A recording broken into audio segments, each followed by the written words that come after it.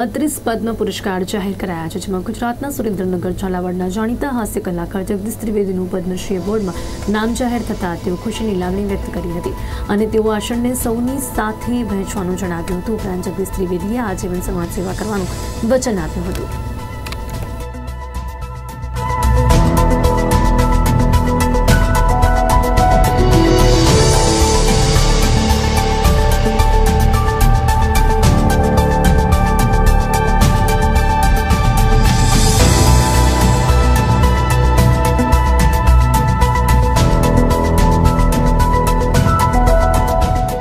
પચાસ વર્ષ પૂરા કર્યા ત્યારથી મારા કાર્યક્રમોની સંપૂર્ણ આવક હું આરોગ્ય અને શિક્ષણમાં દાન કરી રહ્યો છું. એ તો બધાને ખબર છે. અને હવે મારા વ્યક્તિગત દાનની રકમ નવ કરોડને પાર કરી ગઈ છે, એ પણ સૌ કોઈ જાણે છે. કારણ કે એકત્રીસમી ડિસેમ્બરે યશસ્વી વડાપ્રધાન નરેન્દ્રભાઈ મોદીએ પોણા ચાર મિનિટ સુધી મારા આ સેવા યજ્ઞની વાતો કરી. અને એ વખતથી જ બધા જ મને કહેતા હતા કે જગદીશભાઈ, નજીકના ભવિષ્યમાં તમને બહુ મોટો એવોર્ડ મળશે. પણ આટલો બધો જલ્દી મળી જશે એ મને પણ કલ્પના નહોતી. ગઈકાલે જ છવ્વીસમી જાન્યુઆરીની પૂર્વ સંધ્યાએ મને પદ્મશ્રી પુરસ્કાર જાહેર થયો છે અને જ્યારે વડાપ્રધાનશ્રીએ મારી વાત કરી, ત્યારે સેવા કરવાનો મારો ઉત્સાહ બમણો થઈ ગયો હતો. પણ આ પદ્મશ્રી પુરસ્કાર જાહેર થયા પછી હવે એ ઉત્સાહ ચાર ગણો થયો છે અને હું જીવનના અંત સુધી સમાજ સેવા કરતો રહીશ.